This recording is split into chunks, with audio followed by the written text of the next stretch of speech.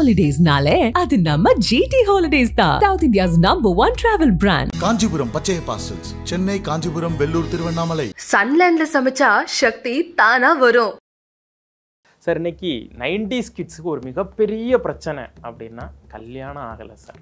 இப்போ திருமண தடைக்கும் வாஸ்துக்கும் சம்பந்தம் உண்டா? சவுத் வெஸ்ட்டில் நம்ம க கப்பிள்ஸ் அங்கே யூஸ் பண்ணும்போது தாம்பத்தியத்துக்கு நல்லது குழந்தை பிறப்புக்கு உகந்தது. கல்யாணம் ஆயிட்டாவே கப்பிள்ஸ் வந்து இருக்க வேண்டிய கார்னர் வந்து சவுத் வெஸ்ட் வீட்டில் வந்து தெற்கு வடக்கில் ஏதாவது மிஸ்டேக் இருந்ததுன்னா அது வந்து பெண்களை அஃபெக்ட் பண்ணும். பெண் சிசு ஃபார்ம் ஆகும்போது அது அபாண்ட் ஆகும். வாஸ்துப்படி மிஸ்டேக் இருந்ததுன்னா அந்த வீட்டில் வந்து தெய்வருள் இருக்காது. சார் இன்னைக்கு நைன்டிஸ் கிட்ஸுக்கு ஒரு மிகப்பெரிய பிரச்சனை அப்படின்னா கல்யாணம் ஆகலை சார் இப்போ திருமண தடைக்கும் வாஸ்துக்கும் சம்மந்தம் உண்டா? டூ ஹண்ட்ரட் பர்சன்ட் இருக்குங்க. திருமண தடை மோஸ்ட்லி எதனால என்னோட எக்ஸ்பீரியன்ஸில் நான் பார்க்குறேன்னா water tank sump water tank sump வந்து டயகோனல் லைனில் அமைக்கக்கூடாது. போன எபிசோட் சொல்லியிருப்பேன்.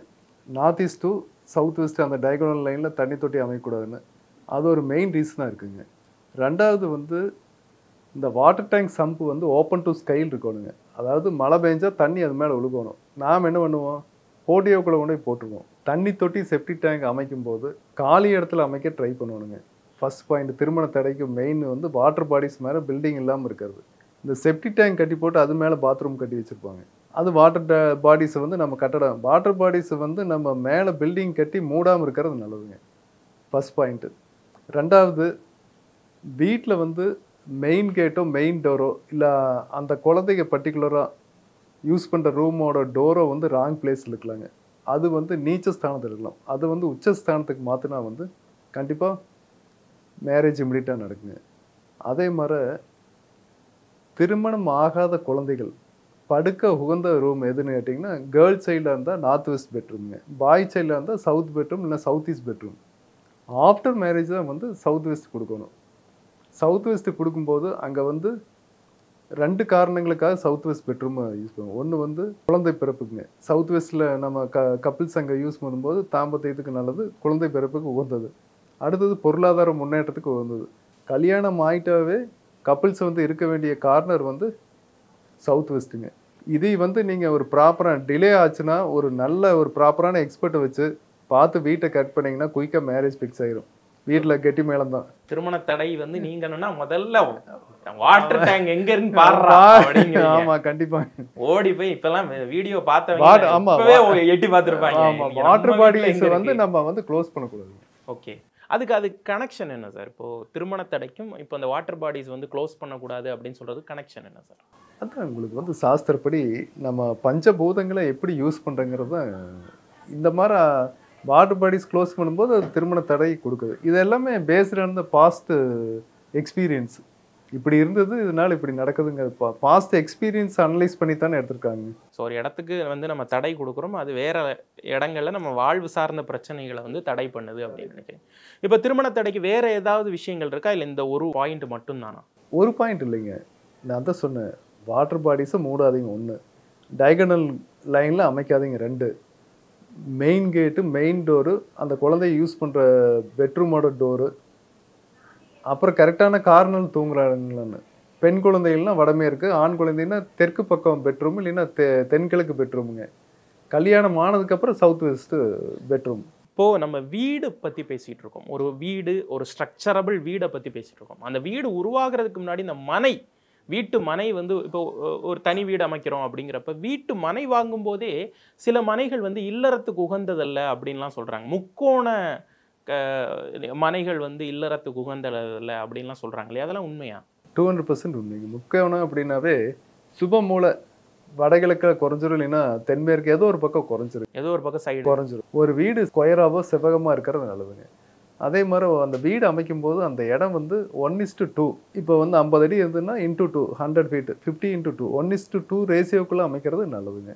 இப்போ இந்த வீடு வந்து நமக்கு வந்து இப்போ வரக்கூடிய நிலமே வந்து அப்படி இருக்கு அப்படிங்கிறப்ப நம்ம அதை எப்படி தவிர்க்கலாம்? அதுக்கு ஏதாவது வழிமுறைகள். காம்பவுண்டை மேல்கையில் கட்டிட்டுங்க. காம்பவுண்ட் அமைச்சிட்டு மிச்ச இடத்த வெளியில விட்டுறலாம். அது ஏதோ கார்டன் அதெல்லாம் வேற ஏதோ Compound-க்கு வெளிய விட்டுறலாம் காம்பவுண்டுக்கு வெளியில காம்பவுண்டுக்கு வெளியில விட்டுறலாம். நம்ம வந்து அதையே ஒரு ஸ்கொயர் பண்ணிடலாம். இப்போ நம்மகிட்ட முக்கோண இடம் தான் இருக்குது அப்படின்னா அதில் மே மேக்ஸிமம் ரெக்டாங்கில் எவ்வளவு எடுக்க முடியுமோ அது காம்பவுண்ட் போட்டு அதுக்குள்ளே கட்டிக்கலாம். வெளியில் இருக்கிற இடத்த வெளியில் விட்டுறலாங்க.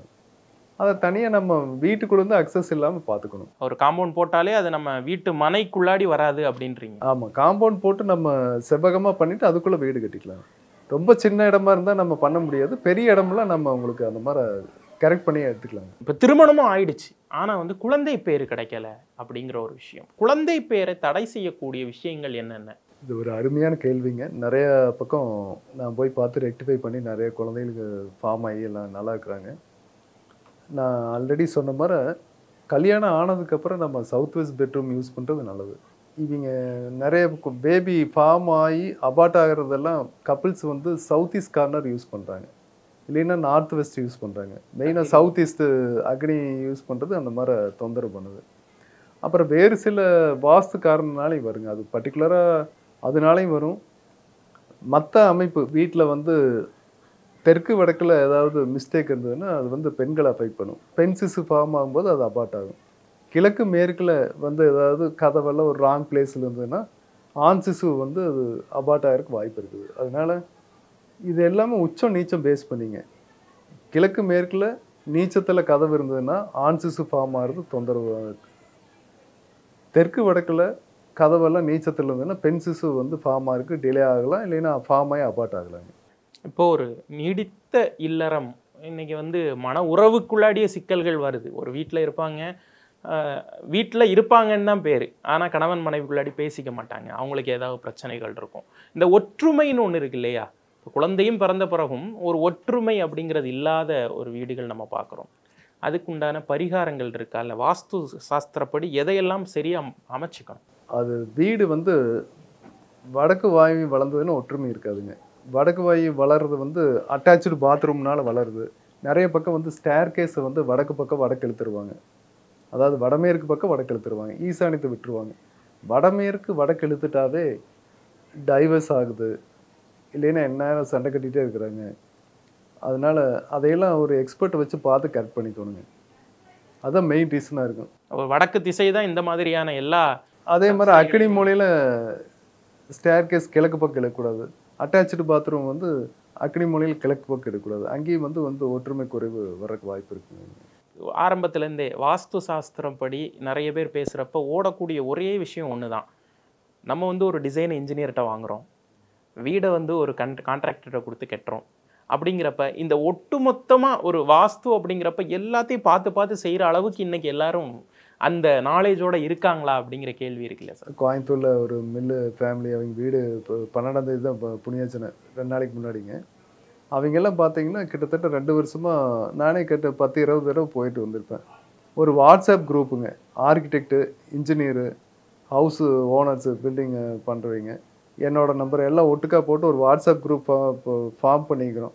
பண்ணிவிட்டு எந்த டவுட்டாக இருந்தாலும் கூப்பிடுவாங்க. அப்புறம் நான் வந்து எந்த கிளைண்ட்டாக இருந்தாலும் டுவெண்ட்டி ஃபோர் ஹவர்ஸ் சர்வீஸ்னு சொல்லிடுறது. தூங்கும்போது மட்டும் எடுக்க மாட்டேன் முடிச்சிருந்தா எடுத்துருவேன். அதனால தான் டுவெண்ட்டி ஃபோர் ஹவர்ஸ் சரி இப்போ இந்த டிசைன்லேயே வந்து வாஸ்து கொஞ்சம் கொண்டு வந்துடுறாங்க. புதுசாக கன்ஸ்ட்ரக்ஷன் பண்ணுறதுல நம்ம ஹண்ட்ரட் பர்சன்ட் பண்ண முடியுங்க.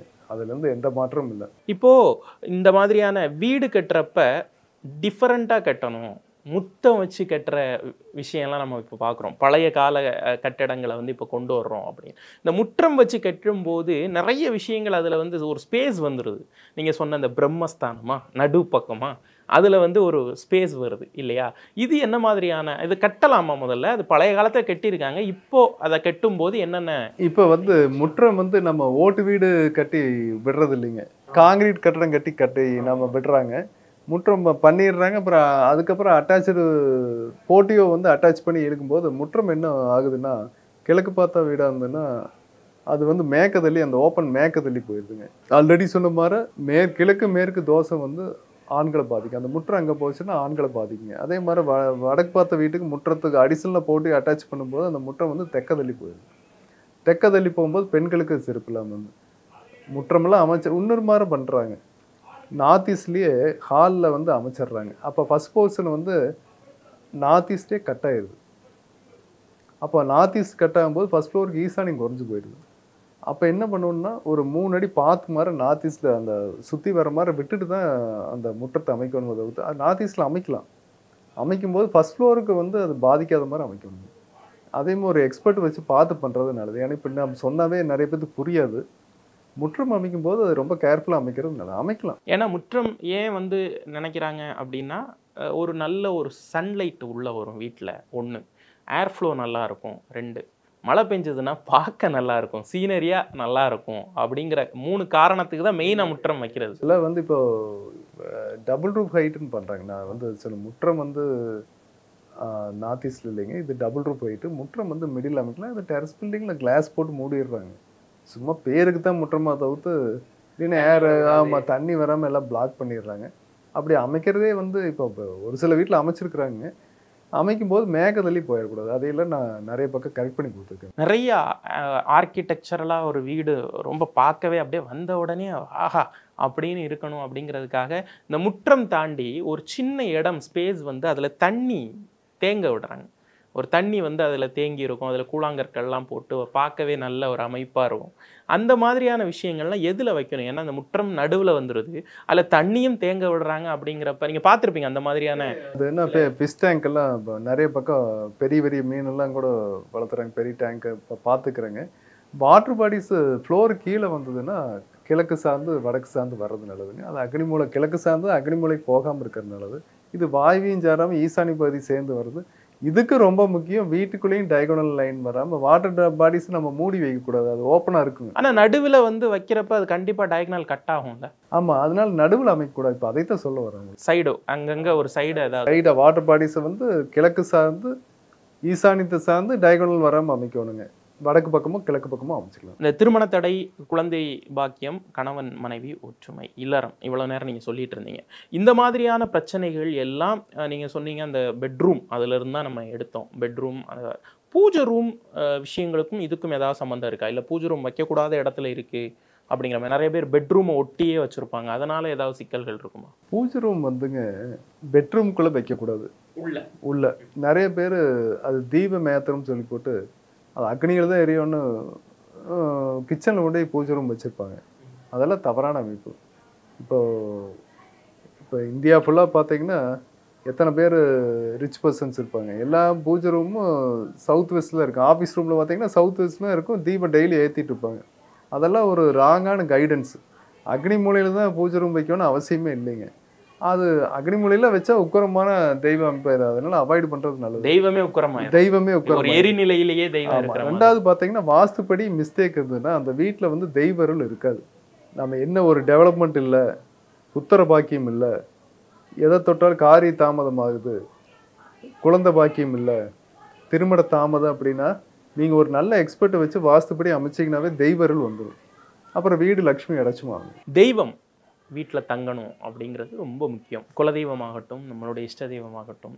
அந்த வீட்டில் தெய்வத்தடை அப்படிங்கிறது வந்து எதுலேருந்து ஆரம்பிக்குது? அதே தானுங்க இது நான் முதல்ல சொல்கிறதே தான் வீட்டுக்குள்ளே மெயின் டோரு பெட்ரூம் டோருங்க பாத்ரூம் அட்டாச்சு பாத்ரூம் அமைக்கிறது. வேதிக் வாஸ்து படியெல்லாம் பார்த்தீங்கன்னா வீட்டுக்குள்ளே வந்து பாத்ரூம் இல்லாமல் இருக்கிறதா நல்லது. நம்ம இப்போ அதில் ஒரு எக்ஸம்ஷனாக வந்து கதவு பெட்ரூம் டாய்லெட் அச்ச அட்டாச்மெண்ட்டுங்க ஃப்ளோர் லெவலு ஸ்லாபுங்க பரணெல்லாம் அமைக்கும்போது கூட நம்ம கேர்ஃபுல்லாக அமைக்கணும். இப்படி வந்து இதெல்லாம் வாஸ்துக்கு வந்து ரொம்ப முக்கியம். எல்லாம் ஈச் அண்ட் எவ்ரி நம்ம பார்த்து அமைச்சாமே லட்சுமி கிடச்சும் பெருகணும் தெய்வருள் வந்துடும் இப்போ வாஸ்து அப்படின்னு எடுத்த உடனே நம்ம வந்து முதல்ல நமக்கு மைண்டுக்கு வர்றது வாசல். வாசல்.